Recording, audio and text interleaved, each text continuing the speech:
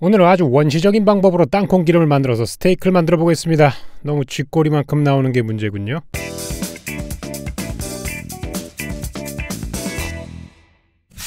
얼마 전에 Five Guys 촬영이 끝나고 땅콩이 굉장히 많이 남는 사태가 발생을 했습니다. 땅콩 그냥 버릴 수는 없기 때문에 오늘은 이 땅콩을 활용해 보려고 하는데요. 오늘의 과제는 땅콩으로 땅콩 기름 만들기입니다. 맨 먼저 해줘야 될 일은 땅콩 껍질을 벗겨주는 거예요. 아주 오래 걸리는 일이죠. 그렇기 때문에 저 혼자서는 할 수가 없습니다. 우리 함께 일하는 동료들을 모두 불러가지고 땅콩을 한번 까도록 하자고요. 짜잔 수많은 노동력을 집어넣으면 바로 이런 게 나옵니다. 자 여기서부터 이제 시작을 할 건데요. 땅콩을 볶아주는 과정을 거칠 거예요. 땅콩을 볶게 되면은 볶지 않았을 때보다 기름이 훨씬 더 많이 나오고 고소 고소한 향도 고소한 맛도 늘어난다고 합니다. 돼지 기름을 생으로 먹는 것과 구워 먹는 거의 차이라고 보시면 될 것 같아요. 다 구워진 땅콩은 이렇게 비닐봉지에 넣어가지고 두들기면서 1차적으로 껍질을 벗겨주는 과정을 거치도록 하겠습니다. 그 다음은 유튜브에서 본 굉장히 신기한 방법으로 땅콩 껍질을 깔 건데요. 페트병을 이렇게 동강 잘라준 다음에 여기에다가 땅콩을 넣어주도록 하겠습니다. 너무 많이 집어넣으면 청소기에 빨려 들어가니까 적당한 양만 넣어주시고 밑에 바람구멍을 넣어가지고 바람이 흐르도록 해줄 겁니다. 이 상태로 청소기로 붕 빨아들이면 껍질이 아니라 땅콩 전체가 빨려집니다. всегда. 정말 유튜브에 올라온 정보는 거의 쓸만한 게 없습니다. 제 채널을 포함해서 말이죠. 그러니까 여러분들도 합리적인 영상 소비를 하시길 바라고요. 물론 굳이 이럴 필요는 없습니다. 왜냐하면 깐땅콩이란 걸 팔고 있거든요. 그러니까 도대체 저런 팁이 왜 있는지도 잘 모르겠고 그냥 까져 있는 걸 여러분 사서 쓰시면 되겠습니다. 자 이제 땅콩 기름을 만들려면 우선 땅콩 버터를 만드는 걸 해야 되는데요. 땅콩 버터 만드는 법을 알려드리도록 하겠습니다. 땅콩 버터는 믹서기에다가 땅콩을 집어넣고 계속 갈면 됩니다. 언제까지 땅콩 버터가 될 때까지 갈아주면 돼요. 처음에는 땅콩 버터 버터같이 생기지 않았는데 이걸 계속 꾹꾹꾹꾹 눌러주면서 갈다 보면은 어느 순간 땅콩에서 기름이 나오기 시작합니다. 그리고 된장같이 변하더니 조금 더 갈아서 열을 가해주면은 이렇게 스무스한 땅콩 버터가 나오게 됩니다. 들어간 재료는 오직 땅콩밖에 없습니다. 땅콩 버터는 여러분 이렇게 만드는 겁니다. 오늘 새로운 정보를 하나 얻게 됐고요. 근데 우리가 먹는 땅콩 버터는 지금 보시는 것처럼 이렇게 묽지가 않습니다. 굉장히 뻑뻑하고 단단한 형태를 갖추고 있죠. 그러기 위해서 몇 가지를 넣어줘야 되는데 우선 짠맛이 나는 소금 그리고 단맛을 위한 꿀 그리고 그리고 단단하게 굳혀주는 쇼트닝을 넣어주도록 하겠습니다. 이렇게 넣어줘야 우리가 평소에 먹는 땅콩 버터가 되겠습니다. 이렇게 만들어진 버전이 creamy한 버전이고요. 여기에다가 땅콩 분태, 땅콩을 부셔가지고 넣은 짜그레기들을 잔뜩 넣어주면 바로 crunch 버전의 땅콩 버터가 완성이 된다고 보시면 되겠습니다. 자 근데 우리는 땅콩 버터를 만드는 게 중요한 게 아니었잖아요. 우리는 땅콩 기름을 만드는 거죠. 그럼 땅콩 버터는 왜 만들었나? 바로 땅콩 기름을 만드는데 땅콩 버터가 필요하기 때문입니다. 여기에는 또 다른 노동력이 필요하기 때문에 다른 기계를 가져왔습니다. 지금 이 땅콩 버터 버터는 땅콩의 기름과 땅콩의 단백질 다른 성분들이 섞여져 있는 상태입니다. 여기에다가 물을 넣어가지고 땅콩 기름을 제외한 모든 다른 성분들이 물과 함께 합쳐지는 성질을 이용하도록 할 겁니다. 한참을 돌려주면은 땅콩 기름이 이렇게 반짝반짝 빛나는 형태로 나타나게 됩니다. 아까는 이런 게 없었는데 물을 조금씩 넣다 보니까 나왔죠. 얘네는 물이 아니라 기름입니다. 요건 좀 이따가 증명해 드릴 거고요. 무튼 이 땅콩 기름 채취를 위해 가지고 면포에다가 넣은 다음에 쭉쭉쭉쭉 짜주도록 하겠습니다. 이 과정은 굉장히 시간이 오래 오래 걸리고 시간보다도 인내심이 훨씬 더 많이 빨리는 그런 상황입니다. 정말 한 방울 한 방울 나올 때까지 계속 손으로 짜가지고 저 기름을 짜줄 수밖에 없어요. 너무 세게 짜면 땅콩 버터 자체가 밖으로 튀어나오기 때문에 적당한 힘을 줘가지고 아주 부드럽게 문질문질 해주시면 되겠습니다. 그러면 바로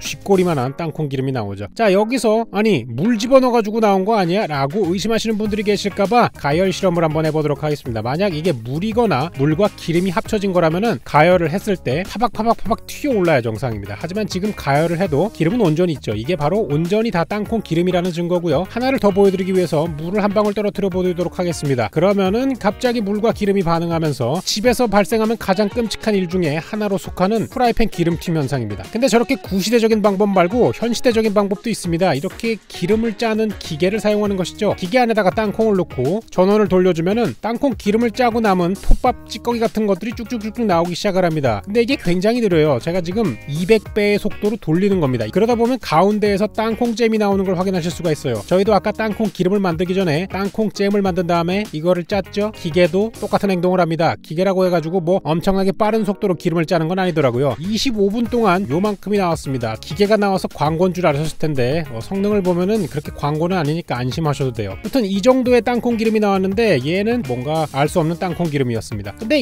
이런 모든 삽질을 여러분들은 안 하셔도 돼요. 왜냐하면 인터넷 인터넷에 그냥 땅콩 기름을 치면은 이렇게 쉽게 구할 수 있는 땅콩 기름이 차고 넘치거든요. 특히 땅콩 기름은 중식에서 굉장히 많이 사용하고 있기 때문에 싼 값의 땅콩 기름들을 아주 편하게 구할 수 있습니다. 그래서 오늘은 이 땅콩 기름으로 스테이크를 한번 만들어 볼 건데요. 그냥 구우면 재미없잖아요. 스테이크에다가 땅콩 기름을 injection 해가지고 땅콩 기름의 맛과 향이 가득한 그런 스테이크를 한번 구워보도록 하겠습니다. 이 injection은 제가 예전에 한번 실험한 적이 있는데요. 실제로 안쪽에다가 육수나 기름 등을 넣어주면은 그 향을 조금 더 강화시킬 수 있습니다. 그래서 저는 땅콩 기름의 고 소한 향을 강화시키기 위해서 주사기로 주입시켜주는 장면이고요. 이렇게 하면 구울 때 안쪽에 땅콩 기름이 동시에 가열이 되면서 조금 더 빠르게 구워지는 현상도 보실 수가 있습니다. 이제 스테이크를 구워야 되니까 겉부분에다가 기름을 발라주시고 소금을 쳐주시고 후추까지 해가지고 마무리해 주도록 하겠습니다. 자 그리고 스테이크를 구울 때도 굉장한 양의 기름을 사용하면 훨씬 더 쉽게 구울 수가 있습니다. 그래서 저처럼 요리 초보는 기름을 많이 사용해가지고 스테이크를 굽는 걸 권장드리고요. 그렇지 않으면 군데군데 기름이 닿지 않는 부분이 시커멓게 타게 될 겁니다. 그 다음에는 제 나름대로의 방식인 30초마다 한 번씩 뒤집기 기술을 사용해가지고 마이야르가 아주 아름답게 나올 때까지 구워주도록 하겠습니다. 물론 조금 더 빠르게 하기 위해서는 이렇게 기름을 끼얹어주는 행동을 하셔도 좋습니다. 이 기름을 끼얹는 행동을 할 때는 저기에다가 마늘이나 로즈마리, 타임 같은 걸 집어넣고 향을 더 덧댈 수는 있지만 오늘은 땅콩 기름이 주인공이기 때문에 저는 오로지 땅콩 기름만 사용해가지고 환상적인 색깔이 나올 때까지 스테이크를 조리해 주도록 하겠습니다. 자 그리고 완성된 스테이크는 잠시 resting을 한 다음에 오늘은 이 땅콩 기름 외에도 땅콩 맛을 2배, 3배, 4배 즐길 수 있는 레시피 를 하나 알려드리도록 할 거예요. 바로 아까 만들어 놓은 이 땅콩 버터를 통해서 말이죠. 집에 땅콩 버터 한 통씩은 있으실 수 있을 겁니다. 아마 1년 전에 사둔 게 남아있을 텐데 그냥 드셔도 될 거예요. 오늘은 그걸 활용하는 법을 알려드리고자 합니다. 일단은 뼈에서 고기를 분리해가지고 잘 구워졌는지 한번 확인을 해보도록 하겠습니다. 다행스럽게도 너무 웰던으로 익거나 하지 않고 핑크핑크한 상황이기 때문에 충분하다고 생각이 되어지고요. 조금 더 resting을 시켜주도록 하겠습니다. 고기가 resting이 되는 동안 오늘 또 다른 신박한 레시피 하나 알려드리도록 하겠습니다. 제가 지금 보여 드릴 거는 바로 캐슈 크림입니다. 땅콩이 아니라 또 다른 콩을 가져왔는데 얘는 캐슈넛이라고 하는 거예요. 이 녀석을 하루 동안 물에다가 불린 다음에 갈아주시면은 캐슈넛으로 비건 생크림을 만들 수 있습니다. 비건 생크림. 사이드 장인 승우 아빠는 오늘 사이드로 비건 파스타를 만들 거예요. 아니 스테이크 garnish로 비건 파스타가 무슨 말이냐 하시겠지만 비건은 맛이 없다는 뜻이 아닙니다. 그냥 동물성 재료가 들어가지 않았다는 뜻인데 이 불린 캐슈넛에다가 물을 집어넣어주면은 캐슈넛 크림이 완성이 됩니다. 그러면은 생크림이 들어가는 다른 모든 종류 의 레시피를 만들 수 있는 막강한 재료가 하나 튀어나옵니다. 이게 바로 캐슈넛 크림이라는 건데 외국에는 굉장히 예전부터 알려져 있었고 이것으로 인해서 수백 가지의 레시피가 파생이 됐습니다. 국내에는 많이 알려져 있지가 않아가지고 제가 오늘 한번 소개시켜 드리도록 할게요. 그리고 사이드 장인의 칭호에 걸맞게 오늘 정말 맛있는 걸 만들어 드릴 겁니다. 스테이크와 잘 어울리는요. 일단 기름을 두르고 여기에다가 느타리 버섯을 올려주도록 하겠습니다. 느타리 버섯은 파스타나 리조또를 할 때 한번 넣어보세요. 표고나 다른 것보다 훨씬 더 감칠맛이 강하게 나옵니다. 소금을 조금 넣 으시고 갈색이 날 때까지 볶아주신 다음에 여기에다가 마늘과 매운 고추, crushed red pepper라 그러죠. 넣고 함께 볶아주도록 하겠습니다. 여기까지는 모든 재료가 비건입니다. 어떠한 동물성 재료도 들어가지 않았고요. 이 상태에서 파스타를 넣어줄 겁니다. 파스타는 보통 계란이 들어가는 녀석과 들어가지 않는 녀석이 있는데 이건 비건을 위한 레시피이기 때문에 계란이 들어가지 않는 밀가루로만 만든 파스타로 준비를 해왔습니다. 비건 파스타라고 검색을 하시면 많이 나와요. 여기에다가 비건 파스타 육수를 넣어주시고 역시나 비건 재료 중에 하나인 맛소금을 넣어주도록 하겠습니다. 그리고 비건 생크 림인 캐슈 크림을 넣어가지고 졸여주시면 됩니다. 물론 여러분이 시중에서 먹어봤던 생크림처럼 고르게 나오진 않습니다. 콩을 갈아서 한 거다 보니까 약간 비지찌개 같은 느낌이 나긴 하는데 그래도 생크림만큼 고소한 녀석이 나옵니다. 그리고 비주얼로만 보면은 그냥 크림을 넣고 했구나라고 할 정도로 그럴듯한 녀석이 나오고 맛도 굉장히 고소하고 맛있습니다. 오늘 처음 비건 레시피를 보여드리는데 제가 그동안 비건 아이템을 30개를 넘게 리뷰를 했거든요. 그러면서 맛있는 비건 아이템도 있다는 걸 보여드리기 위해 가지고 가져와 봤습니다. 저는 이거 예전에 외국에서 일할 때 이상한 진상 손님들을 정말 많이 겪으면서 개발해 놨던 레시피라서 맛있게 드실 수 있을 거예요. 그리고 이번에 이 비건 파스타, 비건 크림 레시피가 괜찮았다면 댓글에 꼭 적어주세요. 댓글에 비건 레시피 더 올려주세요. 50개만 넘어도 제가 하나 더 만들어 드리도록 하겠습니다. 가지고 있는 게 정말 많거든요. 자, 다시 고기로 들어가서 이제 육식을 좋아하시는 분들을 위해 가지고 육식용 소스 또한 신박한 거 하나 가져왔습니다. 땅콩 버터를 이용해 가지고 만드는 건데요. 오른쪽 아래에 있는 재료들을 모두 다 넣어주시면 됩니다. 저기 있는 양꼬치 파우더 같은 경우에는 없으시면 그냥 맛 소금으로 교환을 하셔도 됩니다만 양꼬치 파우더 제가 지금까지 많이 썼잖아요. 집에 남아있는 분들은 한번 꼭 넣어서 만들어 드시기 바랍니다. 이 레시피 같은 경우는 검증을 받은 거예요. 왜냐하면 권 셰프님이 예전에 7성급 레스토랑에서 일하실 때 쓰시던 거를 제가 가져와가지고 개조시킨 거기 때문에 맛이 없을 수가 없습니다. 자 인스타각을 보기 위해 가지고 주물팬을 가져왔고요. 여기다가 기름을 조금 둘러주도록 하겠습니다. 그 다음에 땅콩 소스를 넣어주고요. 땅콩 소스를 펼쳐줍니다. 그 다음에 가열을 하면 얘가 뽀글뽀글 올라오기 시작을 하는데 여기에다가 아까 썰어놓은 스테이크를 얹어주면은 마무리됩니다. 그리고 여기에다가 키친 헥신 마이야르의 시그니처 아이템인 고수를 잔뜩 넣어주면 돼요. 여러분 보시면 아시겠지만 이거 원래 여름용 메뉴였습니다. 근데 직원들과의 투표 과정 중에 낙오가 돼가지고 어쩔 수 없이 없어진 아이템인데 tasting할 때 너무 맛있었거든요. 그래서 여러분이 직접 만들어 드시라고 저희 매장용 레시피 그냥 공개해드립니다. 그래서 제가 오늘 만들어 본 거는 땅콩으로 만든 땅콩 스테이크와 다른 콩으로 만든 땅콩 파스타입니다. 이 오른쪽에 있는 거는 완벽하게 비건 레시피가 되도록 모든 비건종 요소를 맞췄어요. 그럼에도 불구하고 맛있습니다. 자 다시 한번 얘기해드리지만 오늘 스테이크 영상 집에 만약에 땅콩 버터가 있다면 대충 섞어가지고 소스를 만들어서 이것저것 찍어 드시는데 꼭 사용해 주셨으면 합니다. 튀김 만두 같은 거 찍어 드셔도 되고 아니면 삼겹살 같은 거 드실 때 그냥 드셔도 되고 스프링롤이나 이런 거랑 곁들여 가지고 드셔도 정말 맛있습니다. 땅콩에 알레르기만 없다면 정말 추천드리고 싶은 레시피고 이 파스타 또한 마찬가지입니다. 여러분이 만약에 비건이시거나 아니면 건강한 라이프 스타일을 위해 가지고 육식을 조금 줄이시거나 다이어트 중이신 분이라면은 캐슈넛 크림을 사용해 가지고 리조또나 파스타 같은 거를 만들어 드시기를 추천드립니다. 실제로 캐슈넛 크림 같은 경우에 는 다이어트를 하시는 분들이 프렘밀로도 많이 사용할 때 응용하고 있는 그런 레시피입니다. 오늘은 조금 담백하지만 그래도 여러분이 맛있게 써먹으실 수 있는 레시피를 한번 가져와 봤습니다. 둘 중에 하나는 꼭 만들어 보셨으면 좋겠고요. 오늘도 긴 영상 시청해 주셔서 감사합니다. 저는 다음 시간에 훨씬 더 맛있고 재밌는 레시피로 다시 찾아오도록 할게요. 고마워요.